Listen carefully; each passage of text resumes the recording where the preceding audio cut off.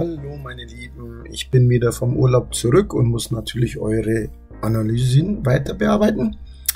Heute kommt ein Ergebnis von einer Dame, die weiß, dass sie armenische Herkunft hat und zwar aus dem Grenzgebiet zu Aserbaidschan. Die Stadt nennt sich Goris und jetzt schauen wir mal an, ob alles so rauskommt, wie sie vermutet hat.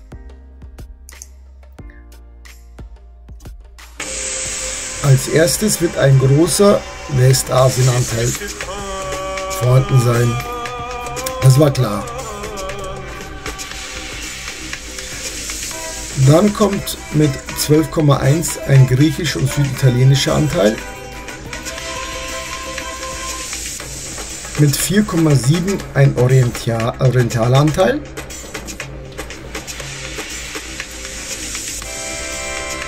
2,1 Italienerin und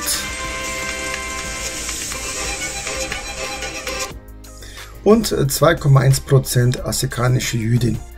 So, vom Ergebnis her könnte ich jetzt nicht sagen, das sieht jetzt typisch armenisch aus oder auch die Faktoren, was ist jetzt armenisch bei MyHeritage, weil MyHeritage ist ja da sehr labil und auch jetzt nicht, ich sage jetzt mal, eindeutig.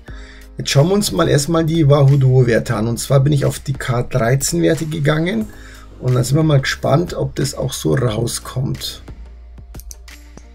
Und siehe da, tatsächlich mit einer Distanz von 6,22. Das ist jetzt eine Nahdistanz, jetzt aber nicht so 100% nah, aber es ist sehr nah Armenien, also Armenier.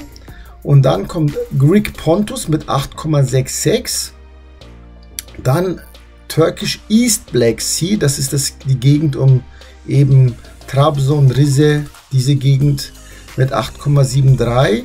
Dann kommt Juden aus dem Kaukasus. Der Türkmen Irak ist dann schon bei 10. Da ist die Distanz schon ziemlich weit weg.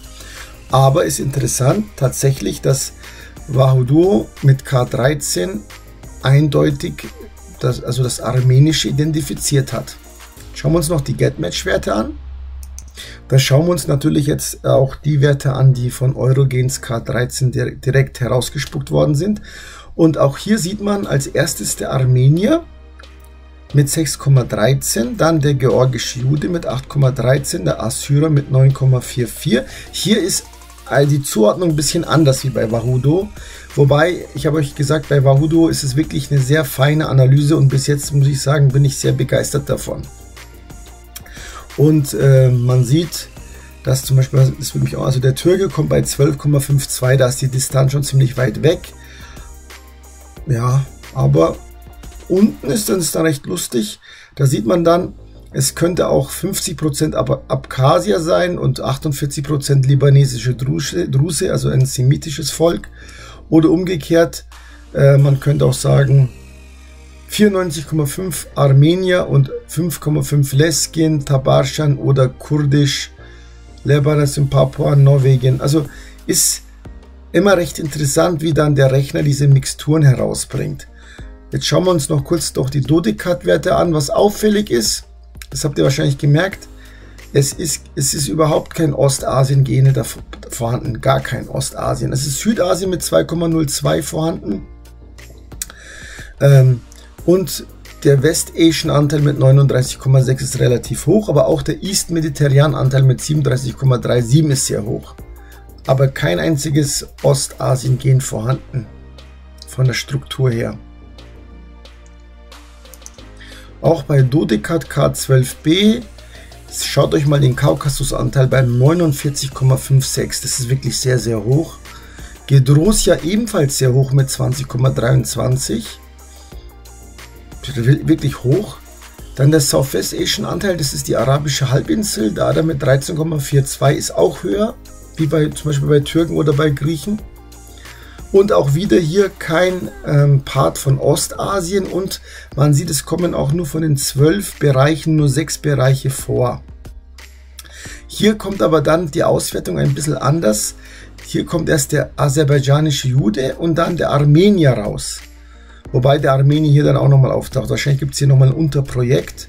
Und unten in der Mixtur sieht man eigentlich eben überwiegend, also das 60 bis 70 Prozent armenisch. Und hier sieht man dann iranische Völker, also Kurden, Iraner, Lesien, wieder Kurden, Tadschiken. Auch hier hm, ganz interessant die Mixtur, aber es ist tatsächlich der größte Anteil ist armenisch, wie auch vermutet. Was jetzt noch wichtig ist, ich wollte euch was über Dodekat zeigen, einen Augenblick. Nicht Dodekat über Wahoo, da wollt ihr auch mal was sehen, Moment. Wenn ihr Wahoo rein, ihr braucht, hier seht ihr einmal, das sind die Rohdaten und hier habe ich zum Beispiel mit Opel Open Files habe ich diese Textdatei, die K13-Datei reingenommen. Und dann Add to Source, dann ist dann dieser Wert hier drin in Source. Wenn man dann das Target eingibt, das ist dann die Person und zwar die Werte von äh, GetMatch Eurogens K13, bevor ihr aufs Orakel drückt.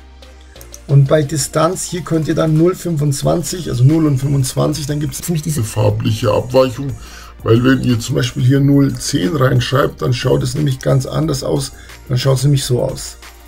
Okay, das war's. Bye bye, bis zum nächsten Mal. Und bitte gebt mir ein bisschen Zeit. Ähm, ich schaffe nicht mehr als ein bis zwei Videos die Woche. Und ich hatte jetzt ja auch Urlaub. Also, ciao, ciao. Ciao, ciao.